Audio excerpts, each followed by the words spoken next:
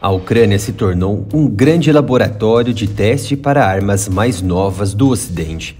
Por exemplo, a última versão alemã do Iris-T nunca havia sido testada pelo próprio exército alemão em batalha, e tampouco outras unidades de artilharia defensiva como o Crotale NG francês.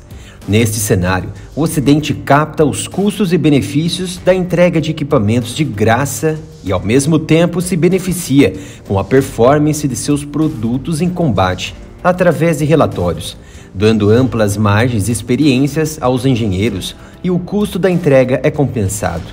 Muitos desses equipamentos estão sendo testados contra linhas de foguetes, mísseis e drones aéreos da Rússia, próximos à capital Kiev e na região sul e leste do país. Inclusive, na data de hoje, diversas explosões foram ouvidas no distrito sudoeste de Holesivsky, na margem leste ucraniana, bem como nos distritos orientais. Ainda não está claro se os foguetes atingiram seus alvos ou se os sons eram da defesa aérea da Ucrânia. O objetivo do ataque em massa, disseram as autoridades ucranianas, parecia ser destruir a rede elétrica da Ucrânia, na esperança de danificar a Ucrânia na retaguarda, o que permitiria à Rússia obter ganhos no campo de batalha.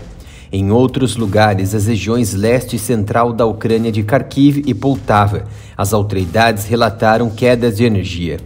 O governador de Kharkiv, Oleh Sinilrobov, confirmou que a infraestrutura de energia foi atingida e as transmissões públicas da Ucrânia, Suspiune, disseram que houve falta de energia na região. Mas a cidade e regiões que preocupam realmente o governo ucraniano e o Ocidente, é claro, exceto a capital Kiev, é a região sul da costa do Mar Negro, as cidades portuárias como Odessa e Porto de Iuzny que escoam grãos e matérias-primas para as grandes potências não ficarem com escassez de alimentos e consigo a impopularidade política.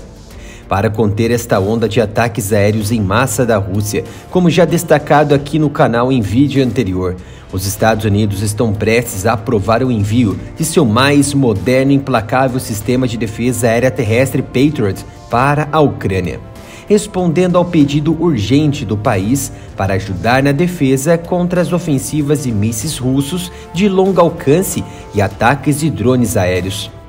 Os Patriots são responsáveis pelas últimas defesas encamadas dos Estados Unidos em todo o território. E na Ucrânia teriam um papel importantíssimo e dariam amplas vantagens na guerra à Ucrânia.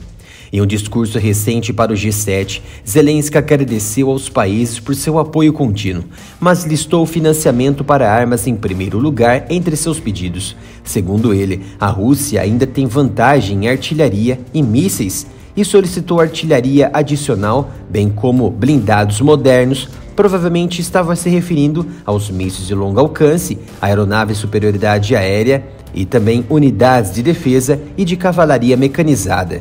A decisão de enviar o sistema Patriot seria um sinal do aprofundamento importante do compromisso militar dos Estados Unidos com a Ucrânia, mas terá suas consequências que podem ser catastróficas. Em meio à possibilidade dos Estados Unidos enviarem sistemas de defesa de longo alcance para a Ucrânia, a Rússia deu ultimato a Washington. O Ministério das Relações Exteriores da Rússia alertou os Estados Unidos na quinta-feira e se enviar mísseis sofisticados de defesa aérea Patriot para a Ucrânia, Moscou consideraria isso um movimento provocativo que poderia levar a uma resposta do Kremlin, que reconhece que tal sistema no laboratório ucraniano poderia dar amplas experiências contra mísseis russos aos Estados Unidos. A porta-voz do ministério, Maria Zakharova, disse que a implantação de mísseis Patriot pelos Estados Unidos para combater ataques aéreos russos representaria uma escalada no papel dos Estados Unidos em ajudar o governo de Kiev a afastar a guerra de 10 meses da Rússia e poderia acarretar possíveis consequências. Antes de continuarmos com o vídeo, já pensou em anunciar sua empresa ou canal aqui no Área Militar? É muito fácil. Mande seu e-mail para canalareamilitaroff.gmail.com A administração Biden está finalizando os planos para enviar um sistema de mísseis Patriot Outras autoridades já confirmaram que os Estados Unidos estão prontos para enviar os mísseis e lançadores a qualquer momento. Mas não será tão rápido. É necessário treinamento de militares ucranianos qualificados, já que o Ocidente não participa da guerra entre aspas. É o que destaca Washington e a própria OTAN.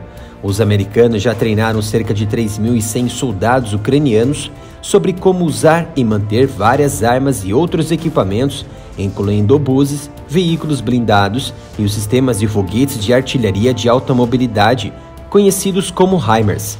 Ao que parece, Vladimir Putin não está brincando. Vimos poucos ultimatos russos como este ao longo do conflito contra os Estados Unidos e a OTAN, e todos foram respeitados, principalmente após autoridades americanas cogitarem, no início do conflito, o envio de mísseis de longo alcance.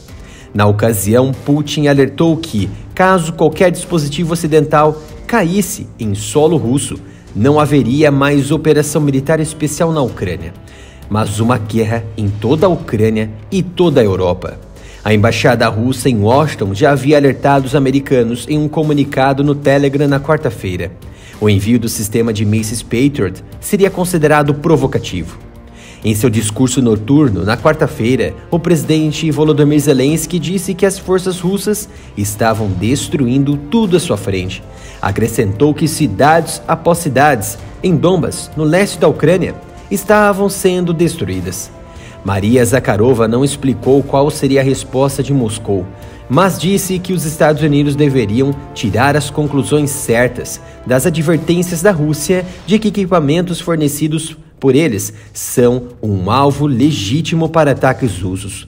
Com seus embarques de armas para a Ucrânia, a executiva destacou que os americanos já se tornaram efetivamente uma parte da guerra. Os líderes da Casa Branca e do Pentágono sempre disseram que fornecer à Ucrânia defesas aéreas adicionais é uma prioridade mas até esta semana eles se recusavam a enviar os mísseis Patriot. No entanto, com o bombardeio contínuo da infraestrutura da Ucrânia, principalmente em Odessa, as autoridades americanas decidiram que a implantação dos mísseis de defesa aérea era necessária. Esta novela tenebrosa e preocupante no leste europeu parece que não terminará tão cedo. É muito provável que teremos novos desfechos mais graves nas próximas semanas com mais ataques aéreos russos sobre a já devastada Ucrânia. O canal precisa do seu apoio imediato para manter o trabalho diário. A maioria dos nossos vídeos aqui na plataforma segue com a monetização bloqueada pelo YouTube. Então peço sua contribuição com qualquer valor diretamente para a nossa chave Pix, canal aramilitarov.gmail.com.